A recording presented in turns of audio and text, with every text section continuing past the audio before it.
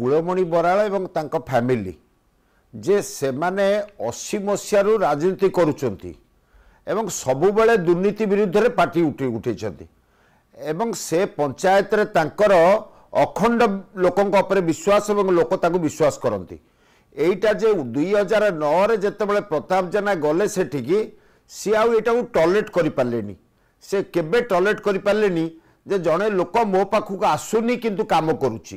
ଏଇଟା ହେଉଛି ତାଙ୍କର ପ୍ରଧାନ ବେ- ବେ- ଯେ ଏବଂ ମୁଁ ଆପଣଙ୍କୁ କହିଥିଲି ଯେଉଁ ତାଙ୍କୁ ଗିରଫ କରିଛି ପୋଲିସ ଏପର୍ଯ୍ୟନ୍ତ ପୋଲିସ ଖୋଲାସା କରୁନି ଯେ କ'ଣ ସେମାନଙ୍କର ମାଇଣ୍ଡ କାହିଁକି? ନା ପୋଲିସ ଭଲ ଭାବରେ ଜାଣି ସାରିଲାଣି ଯେ ଏଇଟା ବିଜେଡି ଲିଙ୍କ ଏବଂ ମନ୍ତ୍ରୀଙ୍କ ପ୍ରବଚନ ହେଇଛି।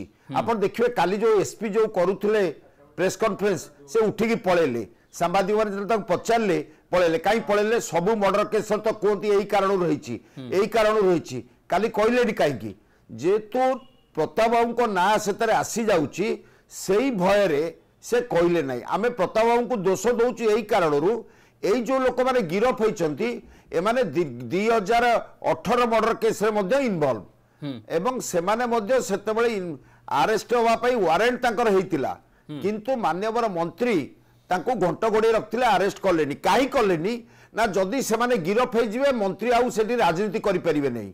ସେ ସେଇମାନଙ୍କ ନାଁରେ ୱାରେଣ୍ଟ କରି ତାଙ୍କୁ ଡରଉଥିଲେ ଏବଂ କୁଳମଣି ବରାଳକୁ ମଧ୍ୟ ସେଇମାନଙ୍କୁ ପଠେଇକି ମାରିବ ବୋଲି ଧମକ ଦଉଥିଲେ ତ ମନ୍ତ୍ରୀଙ୍କର ଦି ପଟରେ ଧାର ଥିଲା ଯେଉଁ ହଁ ଦି ପଟ ଦି ପଟ ଧାର ପାଇଁ ସେ କାମଟା କରୁଥିଲେ। କାହିଁକିନା ସେ ଜାଣିଥିଲେ ଯେ ଯଦି ମୁଁ ଆଙ୍କୁ ଗିରଫ କରିଦେବି ତାହେଲେ ସେ ପଞ୍ଚାୟତକୁ ମୁଁ ଯାଇପାରିବିନି କିମ୍ବା ମାହାଙ୍ଗାରେ ବୁଲିଲା ବେଳେ ମୋତେ ଅସୁବିଧା ହେବ। ଏମାନେ ତାଙ୍କର ବଡିଗାର୍ଡ ଥିଲେ ଆଙ୍କୁ ମାହାଙ୍ଗାରେ ଧରି ବୁଲୁଥିଲେ। କିଏ ଥିଲେ? ମନ୍ତ୍ରୀଙ୍କର ଦି କିଏ କିଏ ଥିଲେ? ବରାଳକୁ ଖତମ କରିବା ଏବଂ ଏବଂ ମନ୍ତ୍ରୀଙ୍କର ଏଇ ଯୋଉ ପ୍ରଫୁଲ୍ଲ ବିଶାଳ ଭିକାରୀ ସ୍ୱଇଁ ଏବଂ ଏମାନେ ସବୁ ମିଟିଂ କି ଯାଆନ୍ତି। ଆଜି କ'ଣ ଖାଲି ନୃତାଙ୍କୁ ଯାଆନ୍ତି? ଏମାନେ ସବୁ ମିଟିଂ କି ଯାଆନ୍ତି। ସୋ ଏମାନଙ୍କର ଉଦ୍ଦେଶ୍ୟ ଥିଲା ମନ୍ତ୍ରୀଙ୍କର ଯେ ଏମାନେ ମୋ ସାଙ୍ଗେ ରୁହନ୍ତୁ ଆଙ୍କ ନାଁରେ ୱାରେଣ୍ଟ ରହୁ ଆଙ୍କୁ ପୋଲିସ ନ ବାନ୍ଧୁ।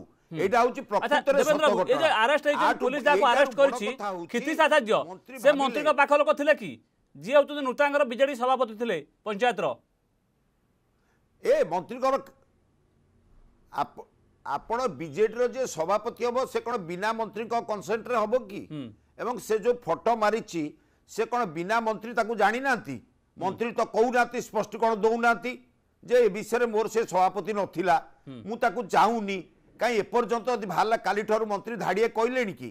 ମୁଁ ମାନ୍ୟବର ମୁଖ୍ୟମନ୍ତ୍ରୀଙ୍କୁ ନିବେଦନ କରୁଛି ଏଥିରେ ଡାଇରେକ୍ଟ ଯୋଉ ଲୋକ ଇନଭଲ୍ଭ ତାକୁ ଆଉ ମନ୍ତ୍ରିମଣ୍ଡଳରୁ ଶୀଘ୍ର ବିଦା କରନ୍ତୁ।